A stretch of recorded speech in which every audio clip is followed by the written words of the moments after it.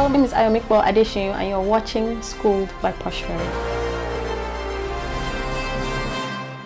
Hello and welcome back to Schooled by Posh Fairy.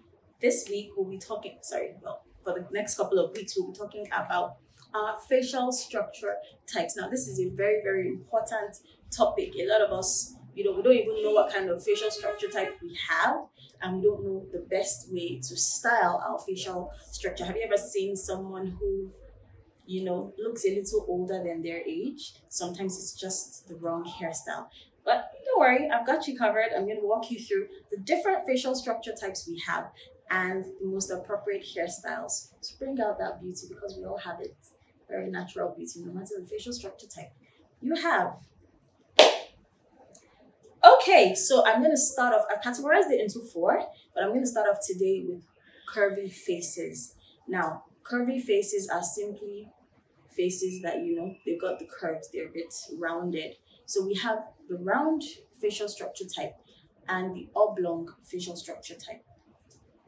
The round facial structure type is a round face. Literally, it looks like a circle. So the distance between your forehead and your chin and your cheekbones one to the other is literally almost the same you know so these are the people who look like they've got the big cheeks like me you know um, rounded foreheads also maybe not a very well defined chin.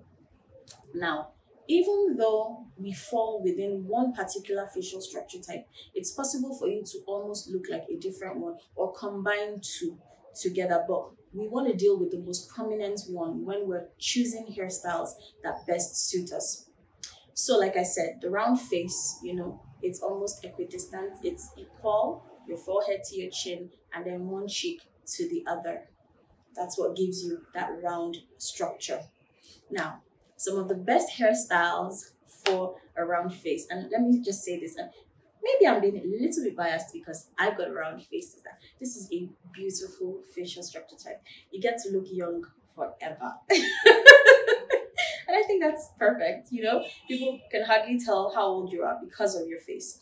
However, you want to make sure that you add structure because what is lacking in a, in a round face is that defined chiseled look that you know just gives you that very glamorous effect at the end of the day. So you want to also always make sure that you're creating lines, chiseled, defined lines on your face. Now, for short hair, the best kind of short hair for a round face is something that has, you know, a, a crop, you know, a nice crop, but has a little bit of height on the crown, at the crown of your head. You want to give it a little bit of height just to, you know, create that optical illusion of elongating your face elongating your face a little bit, you know. So you don't want to do anything that is too chopped to, you know, your skull because at the end of the day, it just creates that roundness. So you already have the roundness going for you. You just want to create a little bit of a narrowing effect. You want to create a little bit of length.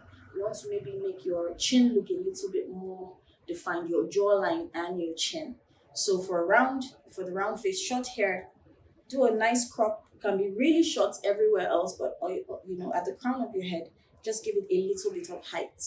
For medium hairstyles, I would say, for me, in my own experience, a blunt bob is the most perfect hairstyle when it comes to medium hair for round faces. So you want something that is just, you know, straight, it just falls straight down on both sides, and then you have a blunt cut. Now, um, this is one thing I will point out for a round face. Make sure that your hair never ever stops right by your jawline. You want to keep a little bit of distance between your jawline and the end of your the tips of your hair. So just make sure it falls a little bit below your jawline. Otherwise, if it stops at your jawline, then it's just going to pronounce the roundness of your jaw, which is not what we want. We want to, you know, create a little bit of um like um, we want to elongate the face. So create a little, give a little distance between your jawline, which is here, and the tips of your hair, just a little bit of distance.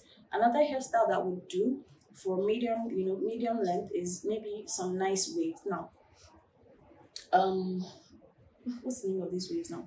Can't really remember, but you don't want anything that is really curly at your jawline. You don't want anything really full and rounded here because it will just add to that roundness that you're already experiencing. So you want something that is maybe a little less defined, you know, just nice wispy waves like this, nothing too full and defined by your jawline. For long hair, as long as possible. This is literally the best hairstyle for a round face. When you have really nice long hair, then you know it takes so much attention away from your jawline and creates that illusion of length for your face and you know kind of gives you that structure, that chisel look that you're looking for, you know. When it comes to updos, an updo should really be up for the round face. You want something that is really high up there. So you want to maybe wear like a ballerina bun or a very high ponytail. You know, you just want to create that length because when you're when you have a round face, that's what you should keep thinking about. You want to create length, length. So a high ballerina bun or a high ponytail if you like to wear ponytails. Now, another trick that you want to learn is that the center part is your best friend. If you've noticed and you watch uh, most of my videos, you realize that most of the hairstyles I wear have a center part because this helps to divide your face equally into two parts, giving that illusion of length. Another part that is perfect for the round face is a deep side part. So you know it, it's um it's a very interesting illusion. It creates that asymmetry, but it's very pleasing to the eyes at the end of the day. A do, a huge um, don't, I beg your pardon, a huge don't for the round, round face don't wear bangs, please. The reason is bangs will reduce the length of your face a little more, and you already have a small face. You know, it's really round already. So by the time you wear bangs, you've taken like a quarter of your face out, so what's left is really, really tiny. So it's not the most flattering look for a round face. Okay, next up is the oblong face. Now the oblong face is a little bit longer, but it also has that rounded jawline like your um like the round face now so for around for the oblong face i would personally say that long hair is the best do a nice long hairdo now you may not want to do a center part because the center part will add more length to your face already as is and your face is already quite elongated. So maybe you want to do like a, um, a, a side part. You know you want to keep it nice and you know, uh, there's this tousled, carefree kind of look that would work very well long hair. If you want to do something short or medium, I wouldn't really recommend short hair for the oblong face. But if you want to do like medium length hair, then make sure you're doing something that is a little bit longer than your face at the same time so that you can just take that attention away from your rounded jaw. So the oblong face is pretty much like the round face, you know. You want to make sure that the attention is taken away from your rounded jaw. You want to um, create more of an illusion of structure. I don't know why, but structure is just so perfect when you're looking at faces.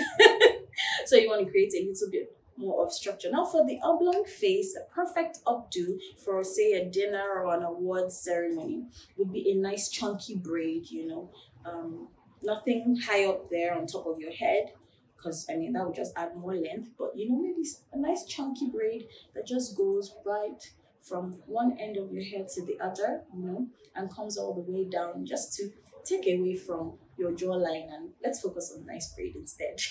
okay, so for curvy faces, that's it. So the round face, the oblong face, now you know the kind of hairstyles you should be wearing that would flatter your facial structure type. Like I said, these faces are ageless, they're timeless. You can hardly tell what age they are. We're always going to look young, you know, but you want to play it up every now and then and just add that structure so you can look like a boss.